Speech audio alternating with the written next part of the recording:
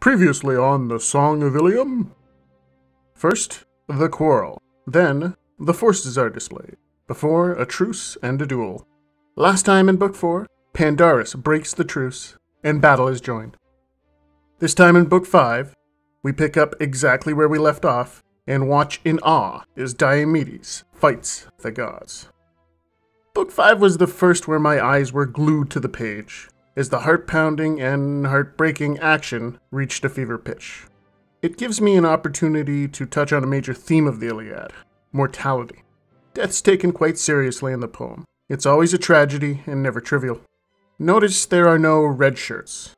The landing party will consist of myself, Mr. Spock, Dr. McCoy, and Ensign Ricky. Ah, crap. Orcs. I'm on 17! Ah! I have no pointy yet outscoring me! Or zombies. What do you think? Zombie kill of the week? Close, but no cigar. Every single person killed has a name, a home, loving parents, family who will miss them, and lost hopes for the future. Violence is portrayed as something ugly, cruel, fast, and indiscriminate, rather than glorious or spectacular. The immortal gods are there to contrast with the young men brutally killed outside Troy. Heracles, Aphrodite, Ares, Hera, and Hades can hurt, but never die. A catastrophe unfolds for the mere mortals, however, Homer making it clear we should be appalled, not applauding. No one in the Iliad embodies the solemn warrior who never revels in death. Congratulations, Captain.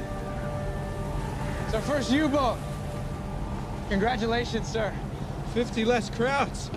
Yes, 50 souls. more than Diomedes, so he's our first character study in this series. Diomedes emerged as easily my favorite character in the Iliad for a host of reasons. Unlike Achilles, he never glories in strength. Unlike Agamemnon, he never abuses power. Unlike Odysseus, he never lies. Unlike little Ajax, he's never sacrilegious. Our hero is dutiful, fearless, humble, wise, and resourceful. Despite being the paragon of the Iliad, he never quite seems to get his due, to the point where Diomedes is absent from all the films and receives scant literary attention. Perhaps this is because he's second best at literally everything the greatest fighter after Achilles, one of the biggest followings after Agamemnon, the second cleverest after Odysseus, the second wisest after Nestor, though first in virtue to my mind. All this without being a demigod or born to power like so many in the Iliad, and as the youngest of the Greek kings. Diomedes, the name deservedly means godly cunning, is son of the famous warrior Tydeus!